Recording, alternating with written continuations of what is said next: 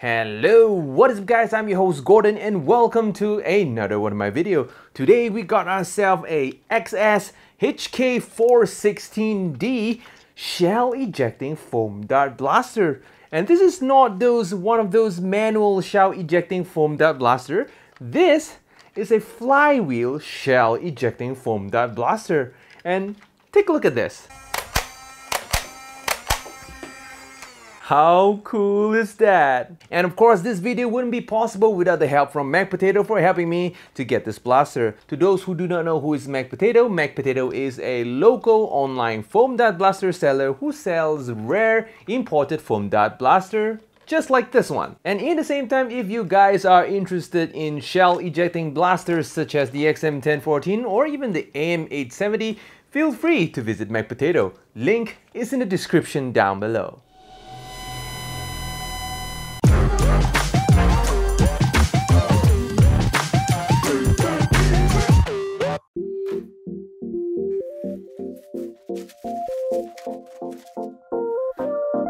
In the box, we got the blaster itself, a banana mag, a normal mag, a buttstock, a barrel extension, a huge fake scope, a grip, a battery and a charger, an unjamming rod, two bags of shells, 20 darts, and a manual. To install the buttstock, just align the buttstock with the notch at the blaster over here you will have to use some force as it is pretty tight. After that, twist the buttstock in place. For the barrel, you just have to friction fit it just like so. To install the grip, there is a button at the middle of the grip, just press the button and slide the grip in place. Same goes to the scope. The battery compartment is located at the bottom of the handle.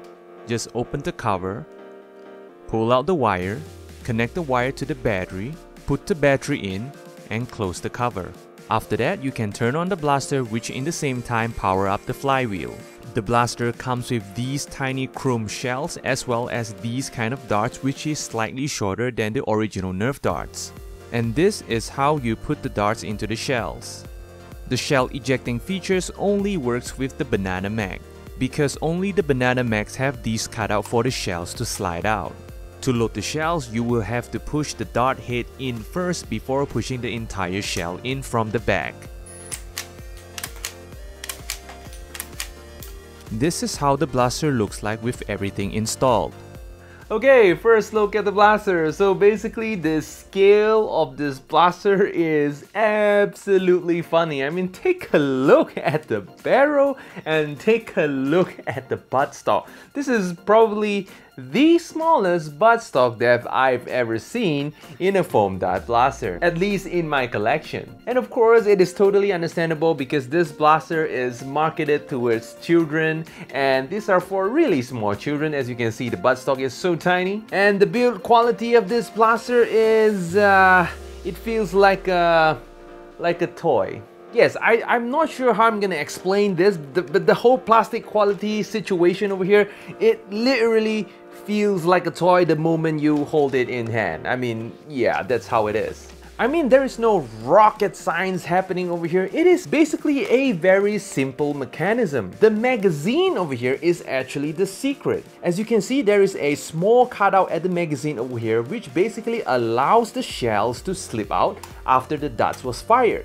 If you actually look closer at the magazine over here, the shell pusher is actually slightly slanted, which allows the shells to slide out the blaster. So technically, the dart itself is actually holding the shell in place. I mean, you can still put the shells into the magazine even without the dart, but when you put it into the blaster, all the shells fly out because there is no dart holding them. So in simple terms, the darts are actually holding the shells using friction. I mean, of course, the shell is not ejecting like what we usually see in pump action blaster. This is more like a dart falling off or just slides out. I mean, this is probably the only interesting thing about this blaster. There is nothing too much to talk about. As you can see, it's just like those basic Picatinny rail situation. There is a Picatinny rail over here, uh, more Picatinny rail at the side grip over here, just like your regular M4 style Picatinny rail arrangement. And there is a Picatinny rail at the top over here, and there is a box at the middle of the blaster which holds the flywheel, and there is a obnoxiously huge scope that serves absolutely no purpose. Same goes with the obnoxiously long barrel extender, which of course serve no purpose as well. The only useful accessory is of course the grip, which I can use in some other blaster because it is like a standard Picatinny rail size. And there is like a hidden iron sight over here which I will probably never use. Other features such as the safety, when you turn the flywheel off, you will not be able to use the trigger. When you turn on the flywheel, you can use the trigger. And I guess that's it. So without further ado, let us go test the blaster out.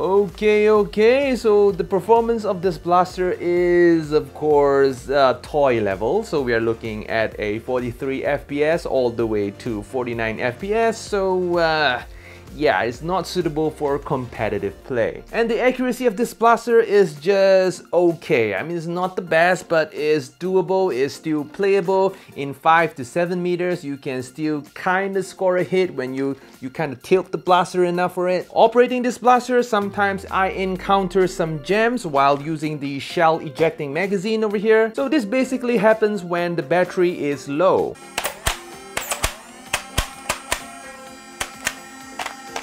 So make sure fully charge the battery before using this blaster. So now I kinda understand why they actually provided such a long rod over here. So basically this is a unjamming rod for us to, you know, poke the dot out when the dot starts to jam in the blaster. In conclusion, this is of course not a competitive blaster, but in the same time, it is actually fun to play with. So yep, that's all for today guys. Like this video if you like it, dislike this video if you do not like it, subscribe if you haven't already, and of course, I'm gonna see you in the next video. Adios, guys!